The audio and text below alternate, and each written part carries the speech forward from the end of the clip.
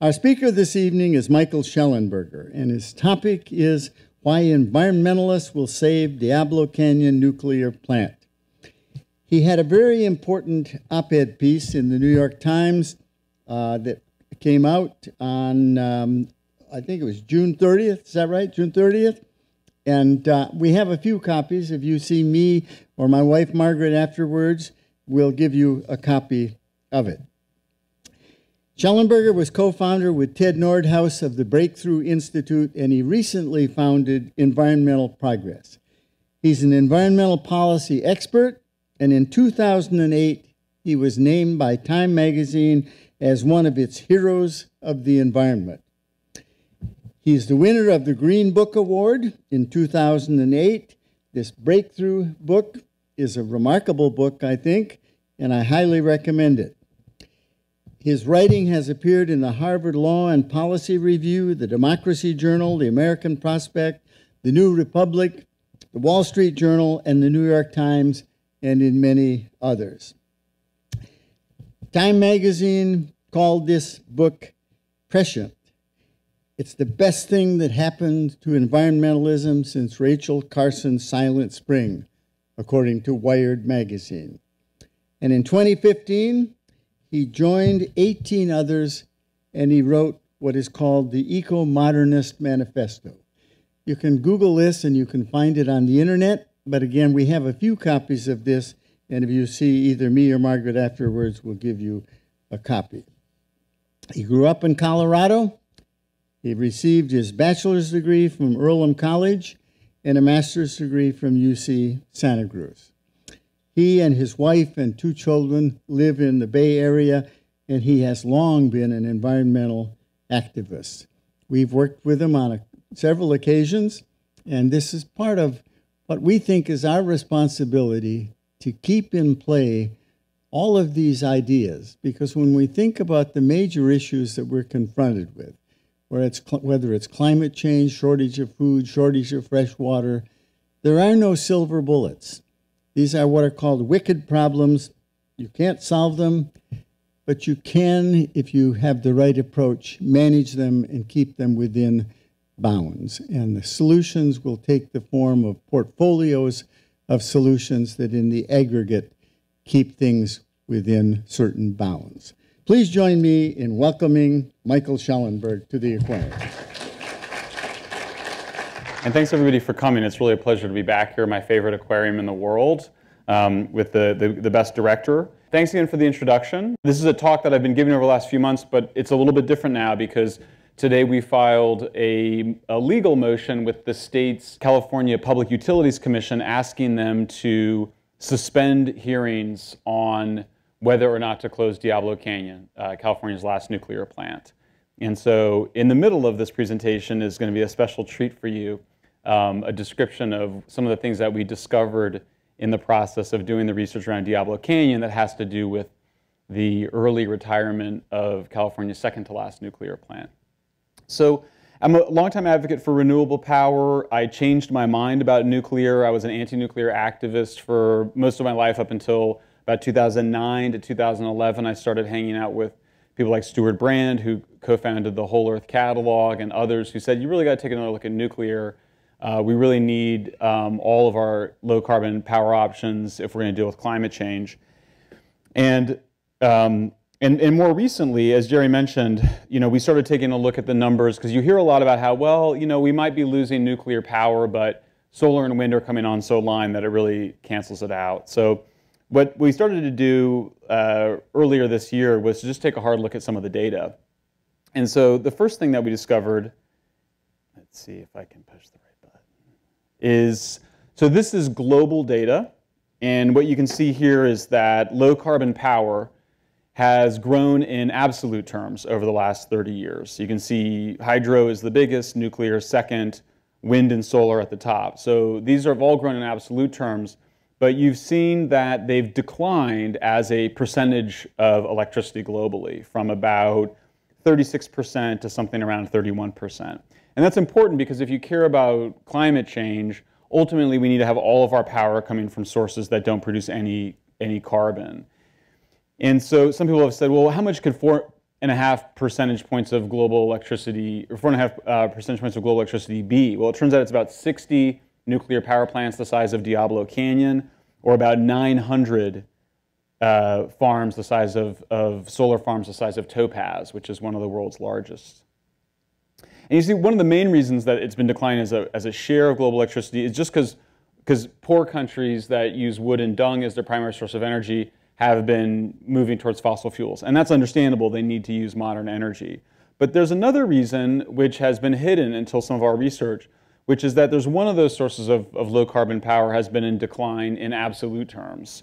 And that's, that's nuclear. You can see that it's declined from being um, about uh, almost 17% uh, of global electricity to 10.5%, uh, and also has declined in absolute terms as well. And you can see that the, the loss of nuclear hasn't, in fact, been made up for by the increase of solar and wind.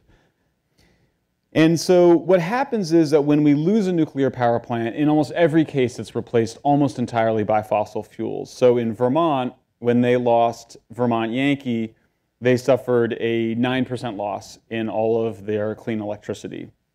And that the renewables that were added didn't come anywhere close to making it up. So we see that dynamic at play both at those global scales, but also at the state level.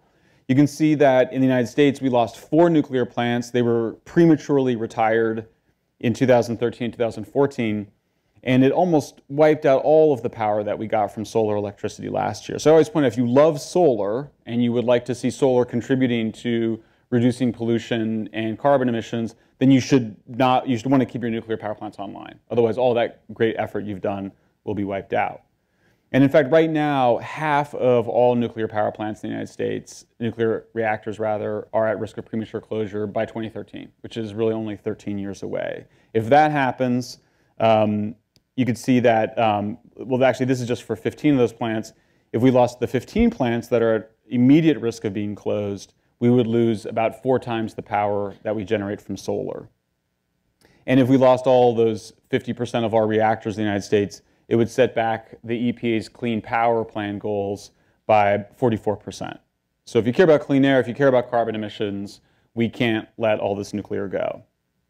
And you can see here, what does that mean in concrete terms? How much power are we talking about? The, the pollution that would be added would be the equivalent of putting 37 uh, million more cars on the road.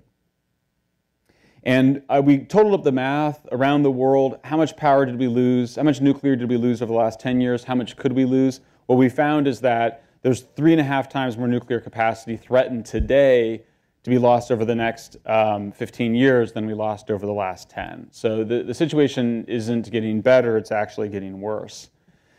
Um, you know, it, it, wasn't always this way. There, in the 1960s, this is uh, one of the Sierra Club directors, Will Siri, he had a very different vision of nuclear. He said, nuclear power is one of the chief long-term hopes for conservation, cheap energy in unlimited quantities, is one of the chief factors allowing for a large, rapidly growing population to preserve wildlands, open space, and lands of high scenic value. With energy, we can afford the luxury of setting aside lands from productive uses. This was the mainstream environmentalist view in 1966. And you can see Will Siri, I guess to be a Sierra Club director, you have to be kind of a badass mountaineer. You know, if you get to be that level, then you have to have climbed the Matterhorn or something like that. So this is a very serious director. The Sierra Club board of directors voted to uh, support the construction of Diablo Canyon nuclear power plant in the mid 60s. It, it, became controversial, but then it went to the membership, and the membership also voted to build Diablo Canyon. So something starts to change. Um, what is it? Well, in one of the finest histories of this era, the author who was at the University of Wisconsin at the time writes in the 1950s and 60s, the discredited theories of Malthus were taken off the shelf and put back to work. Humanity had to restrict its demands on nature to avoid catastrophe, Sierra Club board members subscribe to this neo-Malthusian outlook. Would you raise your hand if you've heard of Malthus? Anybody? Has anybody heard of him? About a third of the room, Malthusian. What's that? Robert Thomas, Robert Thomas Malthus. So Robert Thomas Malthus was um, a, an economist in the early 1700s who wasn't a huge fan of people. I'll put it that way. And so he said, he said, look, um, what's going to happen is there's, the people are being born faster than we're growing food, we're making food. And so um, we're going to run out of food and people will starve. He didn't have any evidence for that, but like I said, he just he didn't like people very much. So he said, we're going to run out of food, people are going to die, so therefore the ethical thing to do would be to have people die now so that there's fewer people who die in the future. This is known as utilitarian ethics. Um, and that sounds kind of like you might be like that doesn't make sense because we've been growing more food. Um, but he was, you know, very persuasive, and the idea became very important when Britain needed to justify its policies towards Ireland in uh, during the Great Irish uh, uh, Famine. People think of it as just a potato blight that made Irish starve. But in fact, Ireland was exporting food to Britain at the time, while many uh, hundreds of thousands of Irish were, were dying. So Malthus's ideas were very important um, in that sense.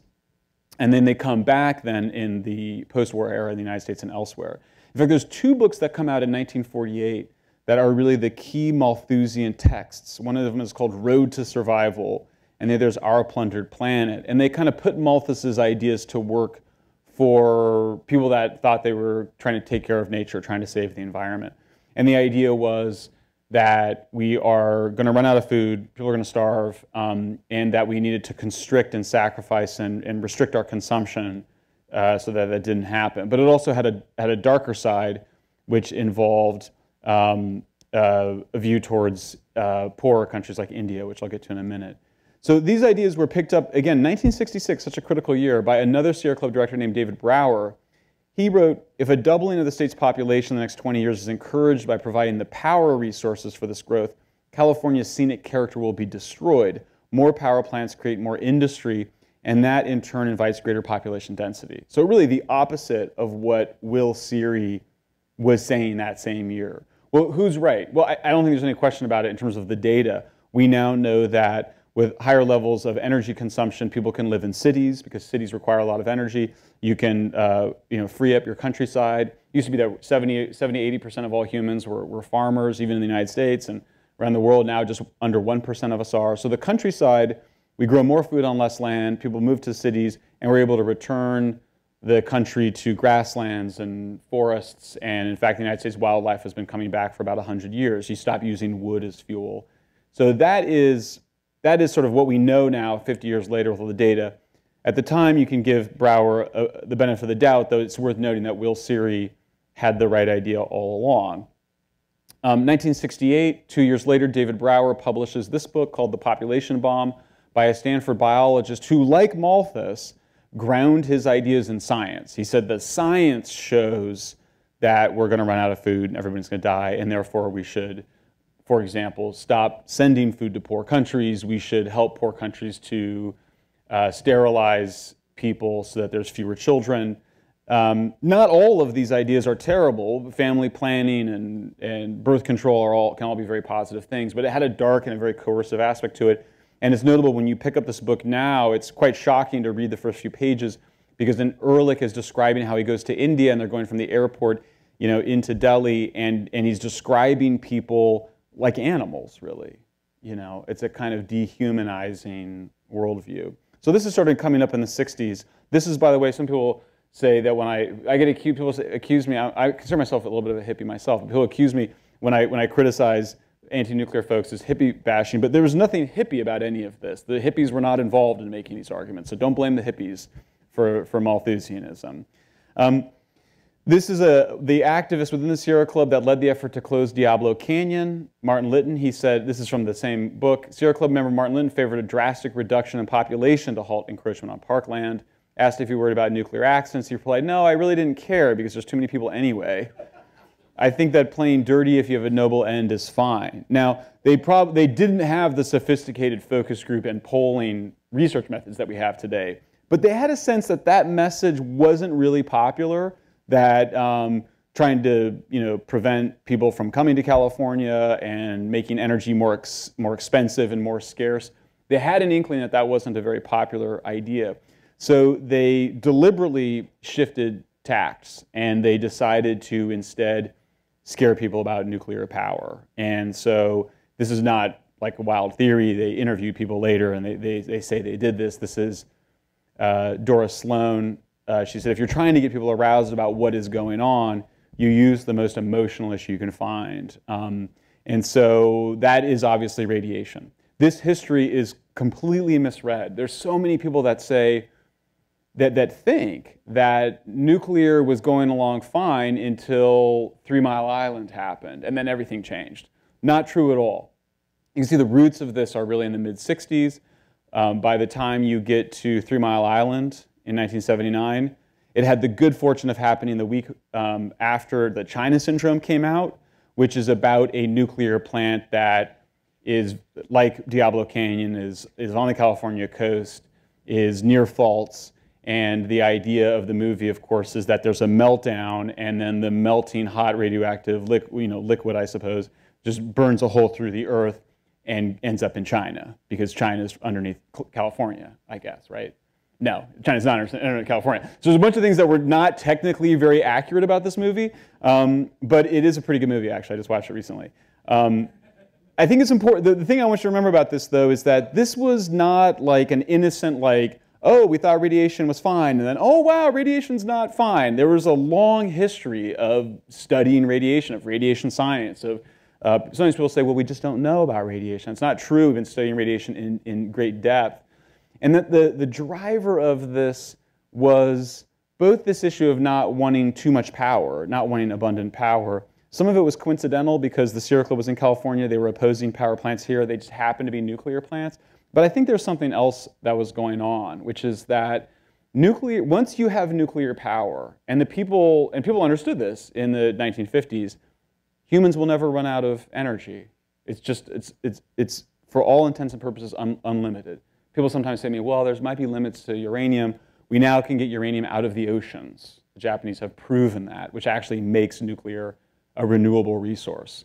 Um, but beyond that, I think most of us think that before you ever try to get to uranium harvesting out of the oceans, we will be on to advanced nuclear power plants that use the 98% of the energy that's still in the spent fuel, which we call waste, as fuel for next generation reactors. But, but I think it's important that the threat that nuclear posed to this Malthusian vision is that it was unlimited energy, that it, it ended all technical arguments around scarcity. Because if you have unlimited energy, then you can desalinate water, you can create fertilizer, and you are not going to run out of food. So Malthusianism as a worldview, even though it was always on pretty shaky ground scientifically, was really demolished by nuclear, and that's why I believe um, this particular brand of Malthusian uh, th th thinking had to go after nuclear. And in fact, one other thing about it, sometimes people say, well, Three Mile Island, that really, you know, that really showed how dangerous nuclear was. It really shows the opposite, right? You have this full meltdown of a reactor. I mean, it just, the thing is so hot it melts, loss of coolant, and nobody's injured. Nobody dies like nothing happens. In fact, what's so striking um, about that, that incident, and this is not my observation, this is a, a historian of the era, is that the media coverage was focused on what they thought could have happened. This is not what journalists are taught to cover. Journalists are not taught to cover what could have happened. They're taught to cover what did happen who, what, where, when, why, how, the basic facts. That all went out the window because of all of this important intellectual work done against nuclear in the years that preceded it. So with this as the background, we have had um, many states around the country put into place clean energy standards. And the interesting thing about these clean energy standards is everywhere they exclude nuclear, including in California. And so I think people, and I will show a little bit later, nuclear is not a popular technology, but I don't think people understand that these clean energy standards um, exclude our largest source of clean power in the United States. And in that environment, it's very hard for nuclear to compete against heavily mandated or subsidized technologies.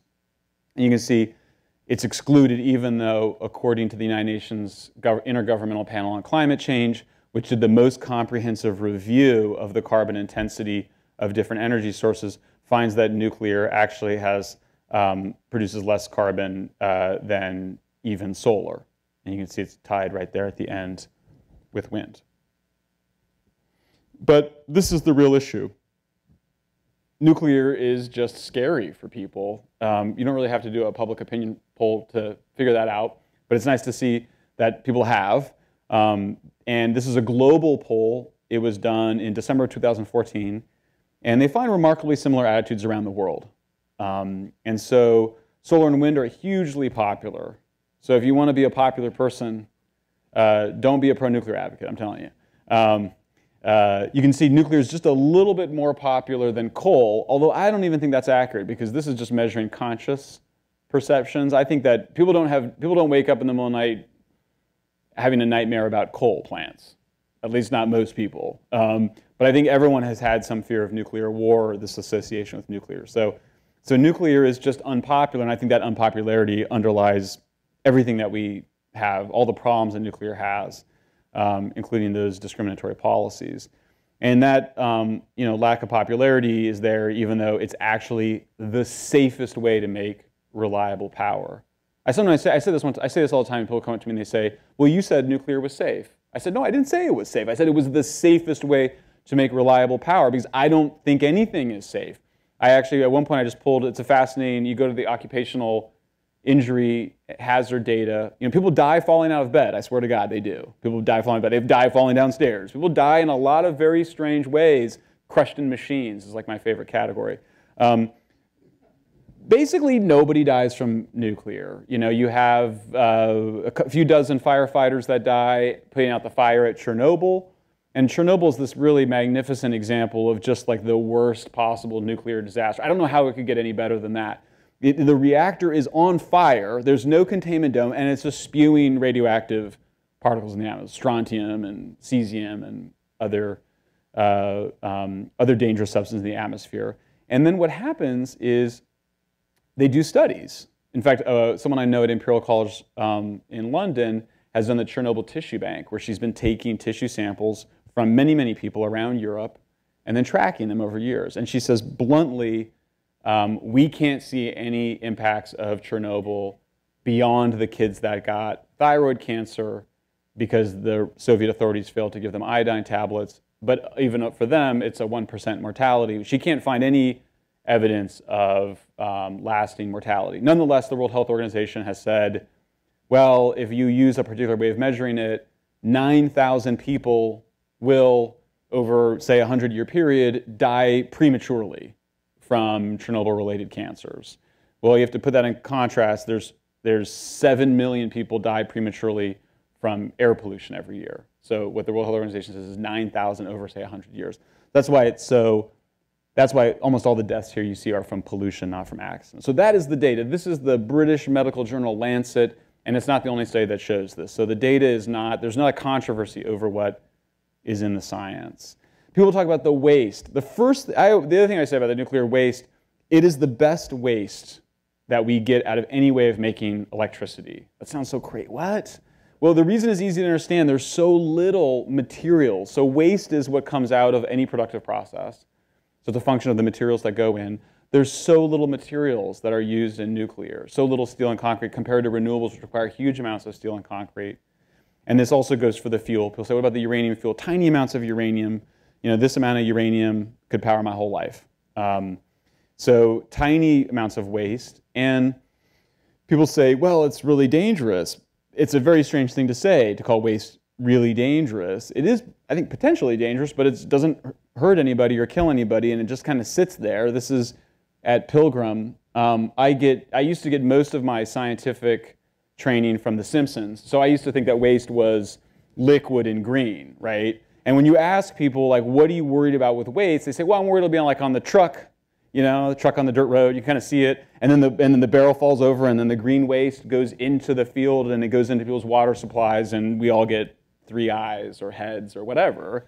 So the first is that the waste apparently is not green. I've been told that it's not green, and it's actually not liquid at all. It's the, the what we call the high level waste is the old fuel rods. It's the old fuel rods and the, the containment that we only our machines are only so good as to get like three percent or two or three percent of the power out of them. So they just sit there, and then people go, well, they're going to be around for so long. I don't think that's true either. Bill Gates and a whole bunch of other companies are racing to see who can build the, re, the nuclear reactors that use this waste as fuel. But even, let's just say, thought experiment that humans did have to babysit that waste for a very long time.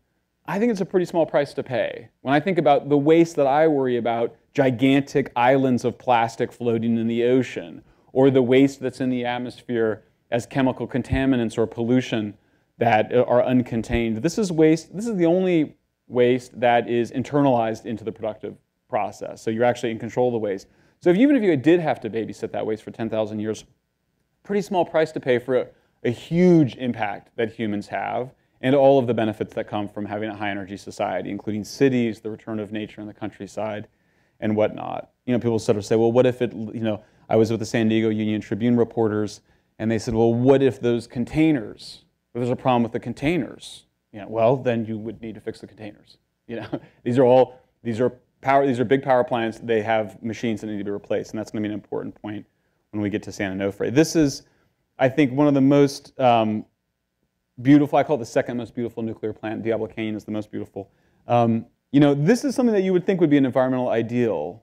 You know, tiny footprint. There's no pollution coming out of these plants. The waste is perfectly internalized and managed. Uh, the only thing, the only thing that comes out of it that you could consider calling pollution is the hot water. I don't really consider it, um, you know, a kind of a waste. And so, what happened to us that we see this thing that is the safest, cleanest form of power, and we decide that there's something really fundamentally wrong with it. So what's happening in California? This is a picture of our electricity grid during the day, sometimes in the spring of, last, of this year. This was a graph that was created by the radio station KQED in San Francisco. And you can see that we have added so much solar, which I've long been an advocate of, that actually that red part on the top means that there's just times of the day when it's really, really sunny in California. There's so much solar that if we have to we have to cut it off coming from the solar farms because otherwise it would overwhelm the grid. The electrical grid, which some engineers say is the most important invention that humans ever created, is perfectly efficient because if you're creating if you're putting too much power onto the grid than people are using, then you have blowouts. And if you don't have enough power, then you have brownouts or blackouts. So, so you have to, we've had to curtail solar because we have so much solar. Well, the obvious solution to that is to get rid of nuclear power, right? Well, that, that's sort of what um, uh, we've decided in California. You can see nuclear is there on the bottom green. At least they gave it the color green. Um, though I think it probably refers to the green liquid waste rather than the, the ecological benefits. So the idea is, well, we should just get rid of the nuclear then because then we can have a little we can have a little bit more renewables. So there was an effort by Pacific Gas and Electric, which owns Diablo Canyon, to get nuclear added to the state renewable portfolio standard, which is one of the reasons that they're arguing they need to close the plant. And that idea was rejected by everybody, including the Governor Brown, his administration, and everybody else who say they care about climate change.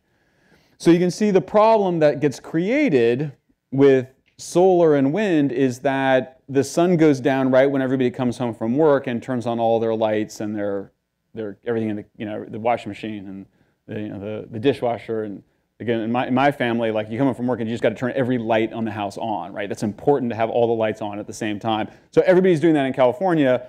And so you've got to ramp up huge amounts of power at that very moment. And people go, well, don't we have batteries that can do that? We don't have batteries that can do that. What we do is that we flood much more natural gas onto the, uh, to start generating more um, gas. But the problem is then we don't like to have pipelines in California. So we stopped building sufficient pipelines. So um, this is, by the way, the great Diablo Canyon, just up the coast. I'll, let me just stop that boring grid conversation. To just say, I did not Photoshop that whale onto this photo. That is an actual humpback whale uh, breaching. Um, I interviewed UC Santa Cruz biologist Peter Raimondi, who, um, who studies this area, and he says that the tide pools around the plant are the most pristine in California. And it's really easy to understand why. There's not tens of thousands of school kids that come every day. You know, they touch the anemones and they're grabbing sea stars and they're tromping all around. I mean, we love our kids to get those marine environments, but it just, it, it hammers them. Pristine marine environment, the only significant ecological impact, according to the scientists, is the fish larvae and eggs that get sucked into the plant. Um, however, they can't see any change in the fish population because the fish population is so variable during the year. But they came to an agreement on this issue that they would build an artificial reef like they did at San Onofre, and they would set aside some land for conservation. When I learned this, I, when I was investigating this in January, I said, let me see if I understand this. In order to save this plant, we have to have more land conservation and more ocean biodiversity. That's what you're saying the cost of saving this plant is. And he said, yeah, that's right. That's what they would have to do. And they worked out an agreement in 2000 And there was some, you know, the company didn't want to spend as much money as the, bio, marine biologists would. We're all familiar with that. But they were like $30 million apart, which when it comes to power plants is not a lot of money. So they're very close to that. PG&E went bankrupt, the whole thing went away. It's come back and is now being used as an excuse to shut the plant. So let's get back to what happens when everybody turns on the lights and there's no more sun. So you have to flood the grid with all sorts of new natural gas powered um, electricity, and you have to, where are you going to put all that gas though? Because you don't have enough pipeline structure. So what we did is we started stuffing it in the side of this mountain called Aliso Canyon. You just start jamming the gas in there. It's on a place called Porter Ranch. And then, you know, somebody tripped on a rock or something, or I don't know, they dropped their wrench, and then this uh, 500,000 cars worth of methane gas goes up into the atmosphere. This is an infrared photo taken. So people sort of say, well, don't we have magic batteries? We don't have magic batteries, it turns out. We have a very limited amount of utility scale storage. And, but mostly we back things up with natural gas. And you would think you would think, well, after this happened, they must have closed that down, right? That that certainly doesn't exist anymore. Nope, we are still stuffing gas into Aliso Canyon. Um, so this is the the hard choice. So I don't think it's that hard of a choice. But if you don't have nuclear, you go to gas. Um, and so you can see when we lost San Onofre, sometimes called SONGS, which is kind of the prettiest name for a nuclear power plant, SONGS. Um, when it was shut down, uh, it was had a bigger impact in terms of loss of clean energy than even the loss of hydro from the drought. And you can see there a 50% decline in nuclear. We just lost, you know, two big reactors, and is replaced um, almost entirely with natural gas, uh, the equivalent of adding two million cars to the road. And you can see this is a very extraordinary number, I think. So this is carbon emissions from, the, uh, from making electricity in California. And you can see that um, they were going down. So between 2000 and 2010, it declined 20 million tons. From 2011 to 2014, it went up 10.5 million tons. Um, and it's and like I showed before, uh, the biggest cause was the closure of San Onofre. And you can see that we did clean up the amount of power we import from out of state, mostly by moving from coal to natural gas, which is helped by having really cheap natural gas. But it just it was all wiped out by the increase in power sector emissions. And people say, what about solar? It didn't make it up. You can see here um, the loss from 2011 to 2012 I still have reporters and people that cover this issue say to me, they go, well, that increase in pollution was temporary, right? No, it was not temporary. It is continuing. It's still in the data that we were at higher emissions in that uh, power sector. And if we lose Diablo Canyon and the same thing happens, which it almost certainly will, then we'll go down even further. So you can see here um, just four different ways of slicing up time, you know, just so you don't think I'm choosing randomly Emissions are going down during every period except for this period after 2011. And in fact, sometimes people think people think climate legislation has a bigger impact. It gets like the front page of the newspapers, but these other factors, like the closure of a nuclear plant, significantly outweigh what happens with legislation. So AB 32 is climate legislation. Emissions actually declined four times faster before that legislation passed. And if we lose Diablo, we'll lose one fifth of all of our clean power. 1.6 million cars on the road, and you can just see the green line is clean energy, the red line is natural gas. We're just becoming incredibly, I think, dangerously dependent on a single fuel. When I first started learning about electricity, the thing that everybody, all the wise guy, all the wise men would say is don't get too dependent on any one source of energy, especially not natural gas. That stuff is crazy. Prices go up and down, and you can't plan for it. Um, and, and, you know, um, the current head of the California Public Utilities Commission, when he was asked about Diablo Canyon, he said, well, you know, the grid, it's not, it doesn't depend on any single plant. You know, we have a lot of solar coming online. But Diablo Canyon produced 14 times more power than our largest solar farm. So sure, maybe not any, we're not dependent on any single solar farm, but um, Diablo Canyon goes offline and we know what happens. You can see here just how it's almost as much produces almost as much power as all of our solar in the state, more than all of our wind. And you can see uh, there's been a, a higher cost than we've been seeing in, in our electricity rates just because natural gas has been so cheap. And everybody expects natural gas to go up. So now let's have a brief interlude to talk about San Onofre, which is this fascinating case um, that I started researching as we filed a motion with the California Public Utilities Commission. I'm just curious, raise your hand if you know what the California Public Utilities Commission is. Have people, do people know what that is? Have they heard of it? So this is just this extraordinarily powerful agency where all the commissioners are appointed by the governor, approved by the Senate, that determines how determines kind of what happens with how we produce power. It also determines other utilities, but they have a lot of power in terms of what plants come online, which plants go offline. The plant in the background is San Onofre. It was like right there on the beach. Um, they had a problem. They had a small radioactive uh, leak, not enough for anybody to be hurt. They actually um, shut down both of the reactors as precautionary. And a year into that, the company, Southern California Edison, was negotiating with NRC to try to restart the reactors at maybe a little bit lower level, like 70%. Um, the evidence, I believe, is very clear. I just read all through the emails and everything else that the company was not intending to shut this plant down. It was intending to restart it. And then something very interesting happens, um, which is that some monkey business starts to go down. The head of the CPUC it, um, is now under federal and state criminal investigation. This is Kamala Harris, who was recently asked about it. She says, Yeah, no, it's still going on. We're still investigating it. Um, and it all starts with these two gentlemen. This is Michael Peevey. He's the former head of the CPUC, he's a former executive at Southern California Edison. And Stephen Pickett is also a former Southern California Edison. These two guys are in Poland together. They're on one of these little junkets traveling around the world, you know, they drink this thing called Blue Label Johnnie Walker. I never heard of Blue Label Johnnie Walker. Apparently, it's really expensive. Um, and they're having a great time. And then Peevey does something very interesting. Is that Pickett is supposed his bosses are like, go talk to Peevey and tell him we're working on songs on San Onofre. And he sits, he approaches Michael Peevey, and Michael Peevey goes, goes, no, no, no, no, no. He basically goes, you got to shut the plant down.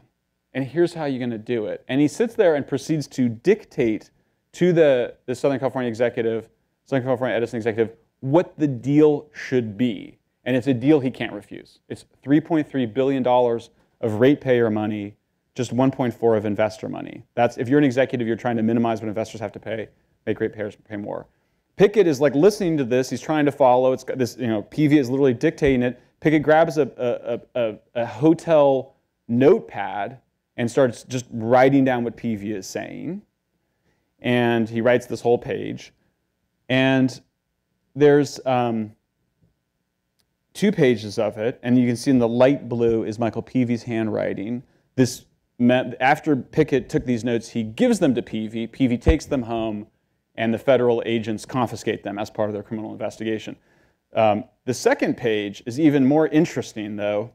So, the, so what is the criminal activity that's being investigated here? The suspected criminal activity, I should I hasten to add, um, is Peevey, who was in his mid 70s at the time, kind of looking for his next gig. He'd been there for 12 years. He says, I want you guys to give $5 million a year to a little research center to study greenhouse gas emissions. And as part of this deal. And he, then he gets the memo back, and then Peevey, you can see right there, he crosses out. He says, forget 5 million a year. I want 10 million a year to go to this little research institute center.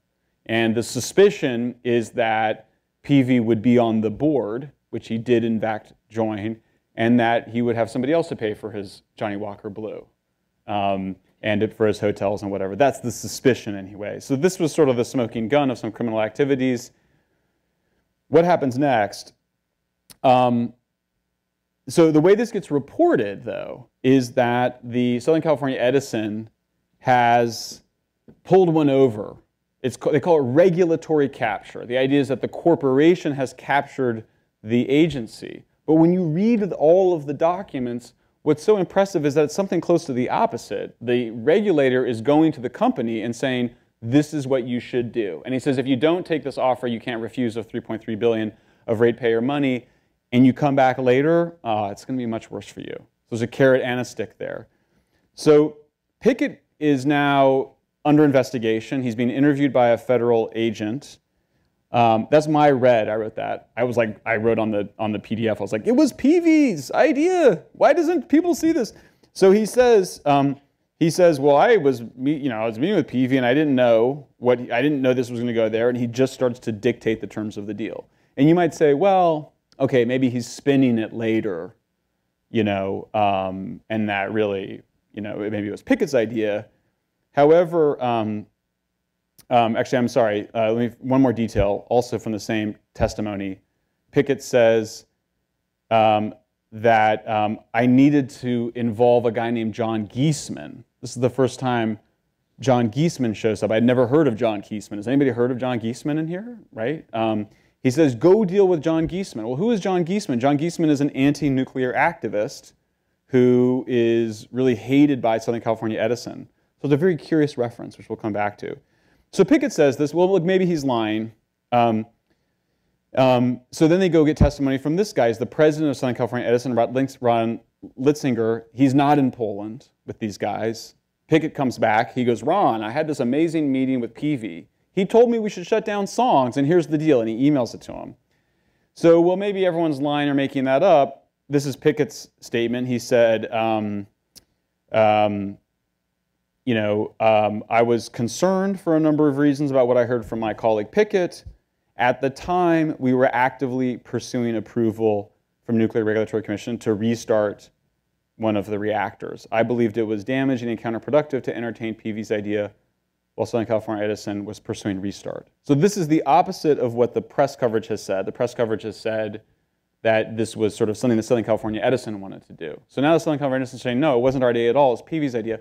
Okay, maybe they're lying. However, something very interesting happens. We get an email that was sent from this guy, Litzinger, a month after that famous Poland meeting to his fellow executives, where he says exactly what he reports later. And so maybe he, you know, like knew two years before federal agents interviewed him that he would be interviewed and that he had to write some email, but it's kind of, that would require a lot of leaps of logic. A simpler explanation is that he really was doing what he's saying in this email. Let me give you a closer look. He says, um, he reports Picky, this is the, the head of, of, the company saying, said Peevey feels strongly about Geesman again. I merely respond, his testimony shows him to be a bomb thrower. And then Peevey says something very, very interesting. He says, Peevey said he is smart and could be trusted at least as long as he was in a superior position as a regulator. But he's not in a superior position as a regulator. He's an anti-nuclear activist. Why is, why is he being raised by Peevey? Who is John Geesman? Alliance for Nuclear Responsibility. I actually debated him two weeks ago. I had no idea who he was. And after I read these documents, just coincidentally, I was like, this is the most interesting person um, in this whole episode. So I created a little timeline of his career. And you can see that in 1979, when he was 29 or so, he was very close with Jerry Brown and that group.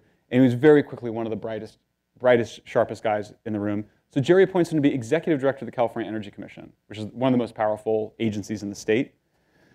He then disappears, comes back. He then joins the uh, Utility Reform Consumer Group in the 90s. Um, also was very active in Democratic state politics, helps on Jerry Brown's run for governor. And then, interestingly, he is appointed somehow in 1998. I don't know if it's by Pete Wilson or whoever, I can't find any record of it. And he's on the Power Exchange, which is the main agency that is, over, that is at the center of the California energy crisis. That falls apart. He comes out smelling like roses. The governor has to resign. The governor is thrown out of office. He is then appointed back to the California Energy Commission. And in 2011, his name was floated as Jerry Brown's top choice to be on the CPUC. But Jerry Brown doesn't choose Geesman for the, CE, for the CEC. Instead, he sticks with Peevey. And I haven't interviewed a single person who thinks that Brown doesn't exercise very tight control over the CPUC. So there's a very strange set of events going on here. Um, then Geesman, in the whole process of this negotiation, kind of sort of out of the blue says, hey, somebody ought to study greenhouse gases, you know? And so the San Diego Union Tribune calls him up and goes, why were you advocating for Peevey's proposal if you say you weren't in on it? And he says, well, I didn't, I didn't say how much money it should be or where the money should go. Um,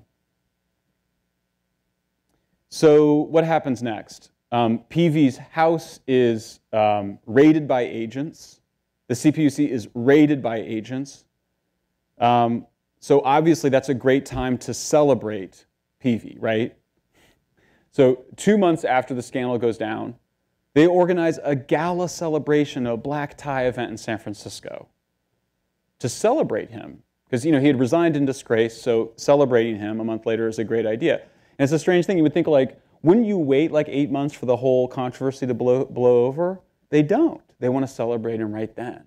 And so for me as an outside observer, and all these co-hosts are donating to this event, for me looking at it, I go, this is a way of signaling that there will be continuity at the CPUC, that there will be no change or reform.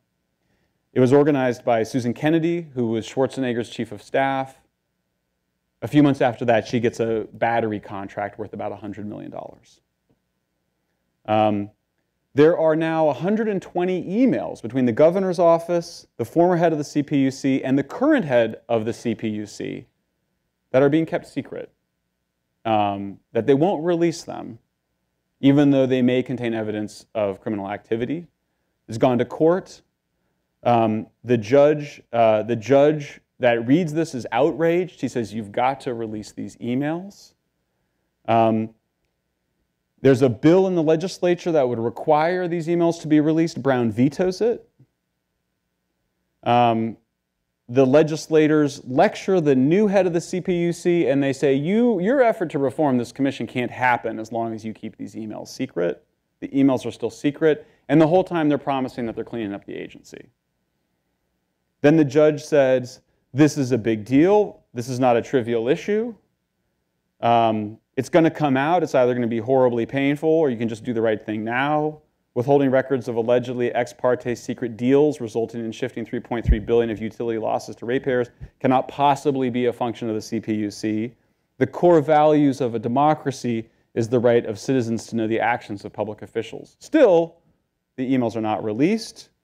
They finally had a bill. They thought they were going to get it done. The last day of the legislative session last week, they just, dang it, they just ran out of time and they couldn't get the bill done. Isn't that a funny coincidence? And then another funny coincidence is that hours later, the courts, which are it's at a court of appeals to rule on the emails, they decide to reject the appeal to release the emails. So you can see this is Mike Gatto. He's, his voting record shows him to be the most independent legislator in the legislature. Well, he's turned out, so he's not going to be a problem anymore either. Um, two PUC reform bills die. Emails will stay secret. This was all last week. Um, so it's a kind of funny situation. Would be a funny situation for me to go to this agency, which is under a federal and state criminal investigation that's withholding 120 secret emails that maybe have evidence of criminal activity, and go to them and pretend like they're kind of, you know, honest Abes to decide the case of Diablo Canyon.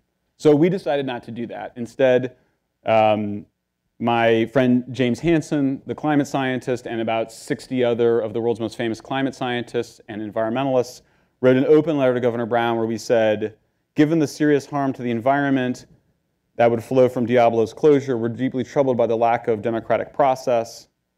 It was decided in secret negotiations.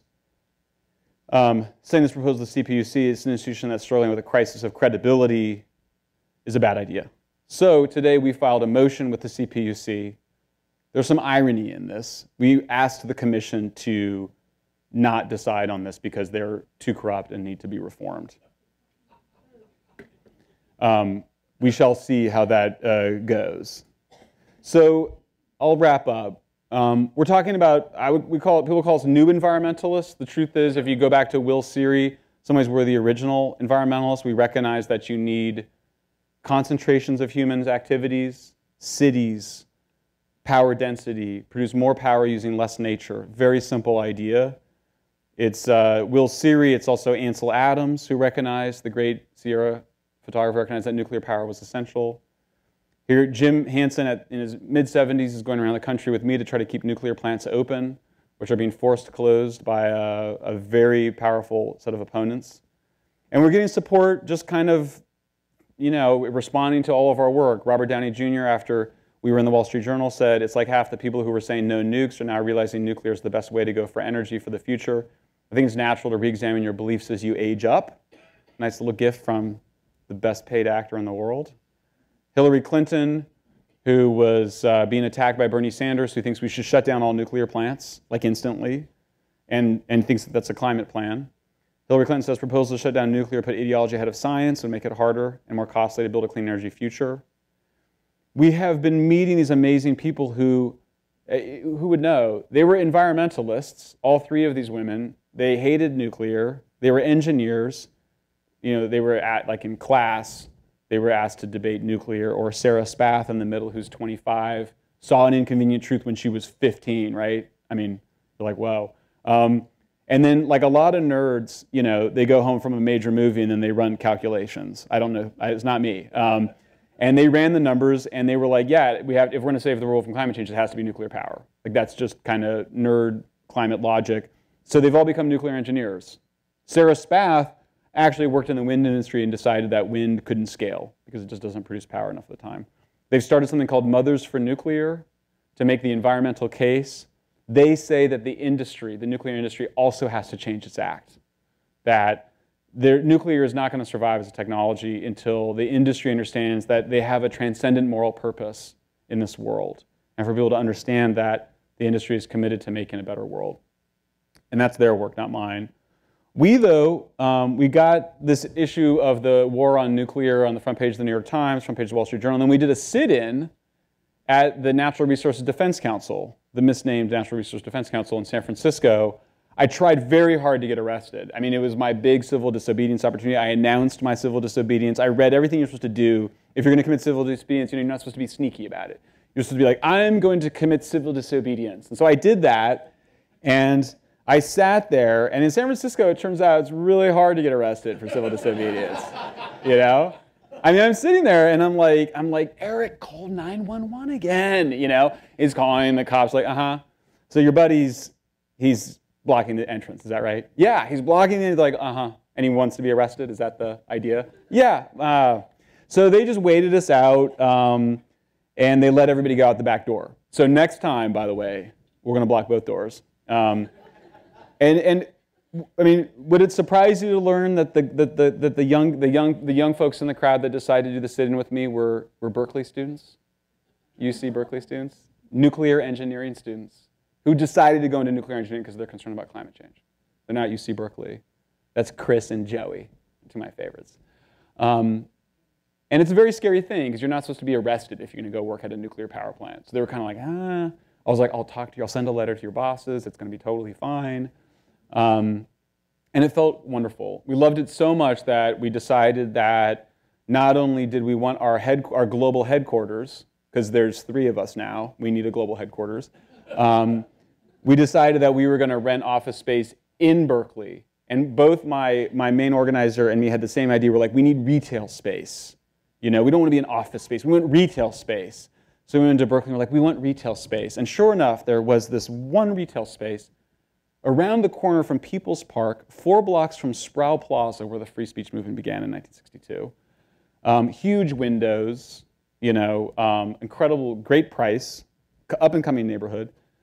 And then the real estate agent, she said, you know, she said, this is a retail space, you're gonna have to sell something here. And we were like, oh yeah, totally, environmental store. So we open our, I get our keys tomorrow and we open it. And that is where the revolution will continue. And this is Heather testifying Lands Commission against closing Diablo Canyon. Um, I took my daughter on the march too. She's 10. I tried to explain to her. She went to Waldorf schools where like they don't really don't like nuclear power. They don't even like to immunize their kids there. Um, but they do like witches. There's a song that they sing about how the witches were really, you know, not that bad or whatever. So when I told my daughter, we were like, we're gonna go do this march for nuclear power, and I said, nuclear power, it's like, how do I explain this to you, honey? I was like, it's like people think it's witches. And she goes, she goes, oh, okay. And I go, you know what the witches really were? And she goes, healers? And I was like, yeah, you got it. And so we all marched together. And we had our first victory in New York. Um, half victory. The headline on our press statement was Big victory for nuclear shows how far nuclear has to go because they still keep it. It's like, it's kind of like a segregation for nuclear. Like we'll give you a little credit for having a nuclear plant, but just you got to stay over there. Don't be mixing with us real clean kids, solar and wind. But nonetheless, it was a victory, and we ate it up. We staged this photo like 20 times until we got it just right. Um, thank you very much. Thank you.